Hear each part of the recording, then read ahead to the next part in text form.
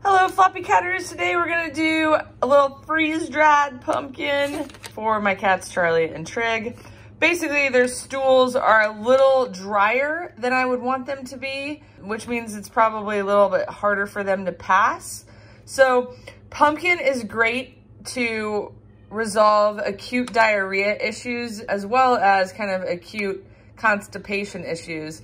And I would say that their stool being dry is an acute constipation issue, meaning not like brought on by chronic kidney disease or something like that.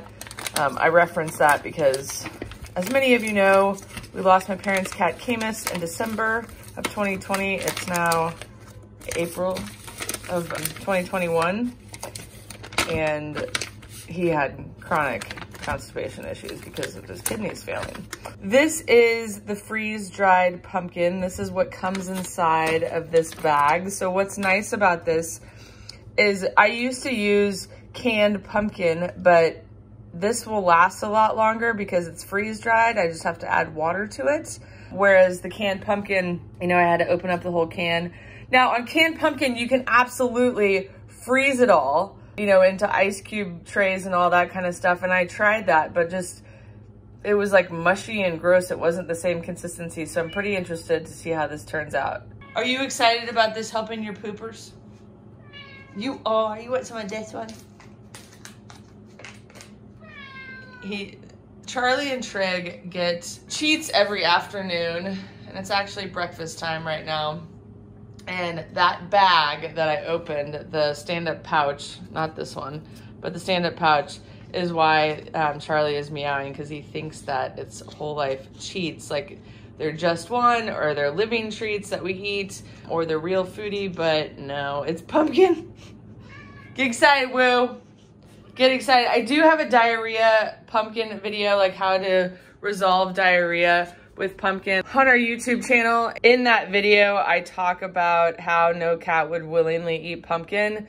Um, that was published three or four years ago, and now several people have commented about how their cat willingly eats pumpkin by itself. So I was inaccurate in that statement. I've just never met a cat that willingly eats pumpkin by itself, so lucky me.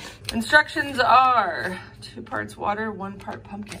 I'm gonna do a half a tablespoon of pumpkin, then two half tablespoons or one tablespoon of water. Stir that baby up. And now I will syringe it into Charlie's mouth. Thank you. Thank you. I always thank my cats after I um, syringe them anything. So not as a willing participant of syringe things like Charlie. That's not so bad. Okay. One more. Thank you. Thank you. That's a good kitty. This is a three milliliter syringe and I pretty much do one milliliter, then let them swallow, one milliliter, let them swallow, one milliliter, let them swallow. And I always shoot it on the tongue because if you shoot it towards the back of their mouth, it could end up in their lungs. So I always shoot it on the tongue. If you don't have a syringe, then you could always add it to their wet food. If you feed your cats wet food, you can take half a teaspoon and sprinkle it on top. And then I would go, I'm not gonna sprinkle all of that, but I, then I would go in and mix it in. But I would first start out really small, maybe even a fourth of a teaspoon. If you're not familiar with how your cat does, definitely get your right your vet's recommendation for amounts. I just have used pumpkin on my cats before, so I know what to use. And really, the review of this is to show the ease and the longevity of storage of it. So I'm gonna show you now how I pack it up. So once I've cut the bag open, then I just try to get all of the air out of it as possible. And then I just take a rubber band and put that around. And then I put it back into the bag that Whole Life sent it to me in.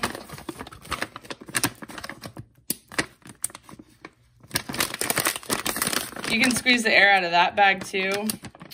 And then You can store this, I think, in your cupboard. Yeah, store in a cool, dry place. Or you can also just throw it in the freezer.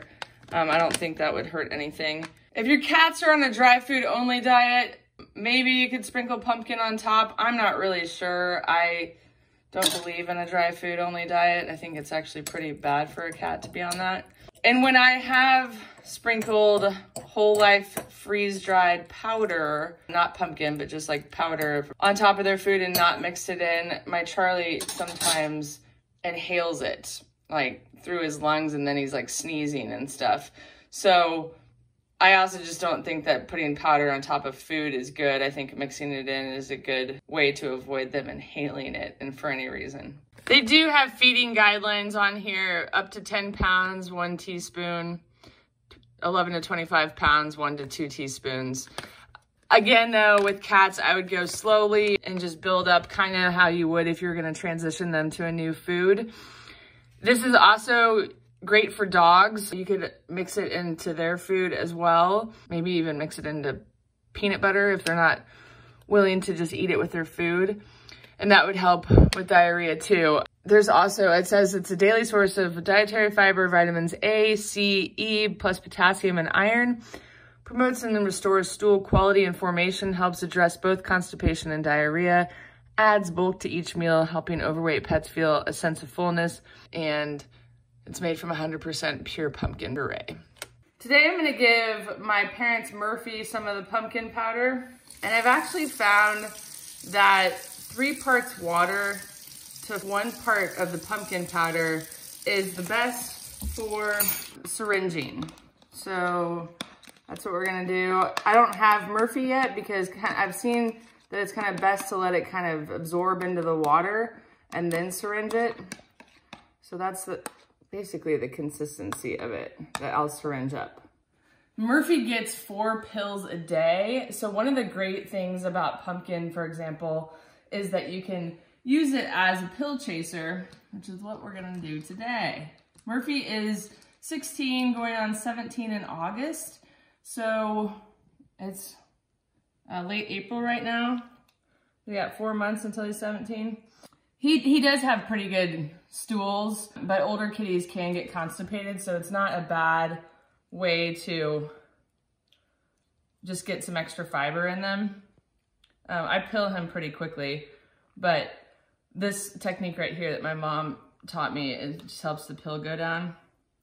Helps the medicine go down, medicine go down. And we do two pills, and then he gets a small break, and then we do the other two.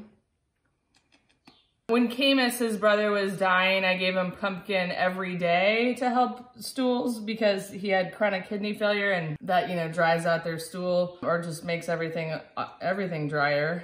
So pumpkin really helped Camus and that's how I used it to pill.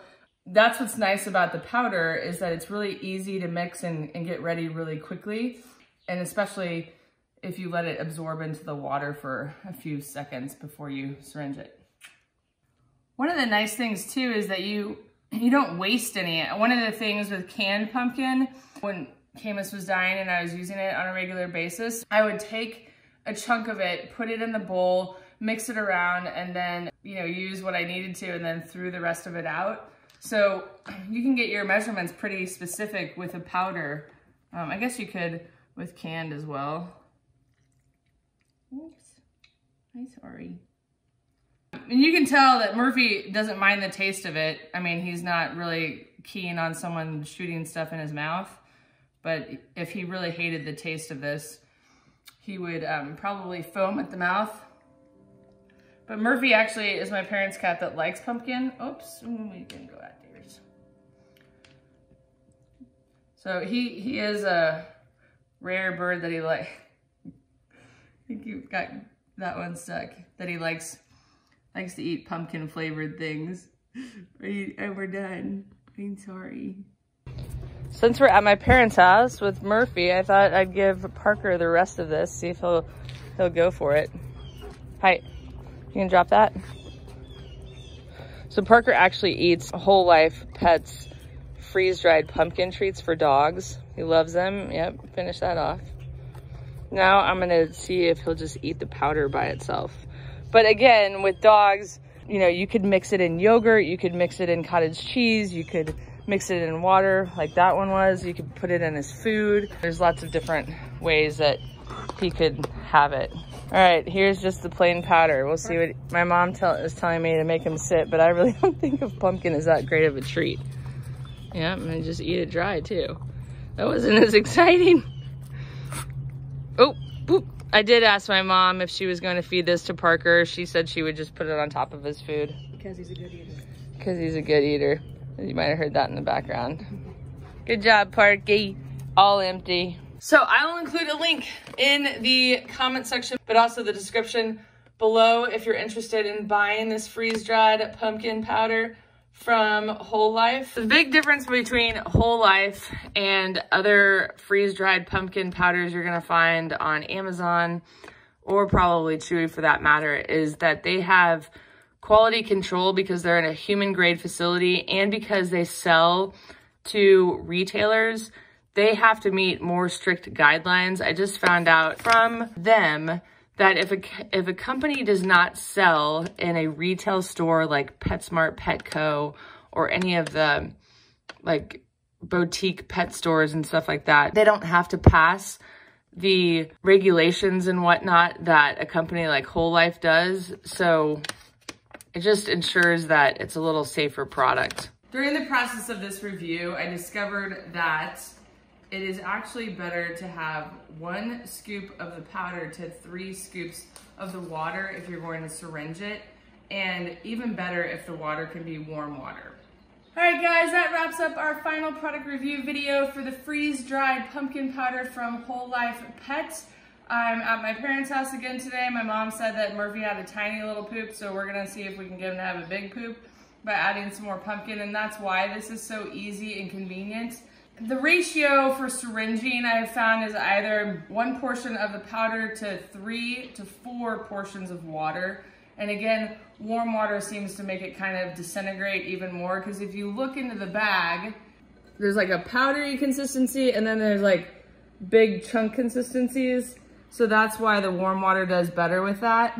I will include a link in the about section below to where you can buy this online. Thank you so much for watching. And if you have any questions, please don't hesitate to ask. we'll see you next time.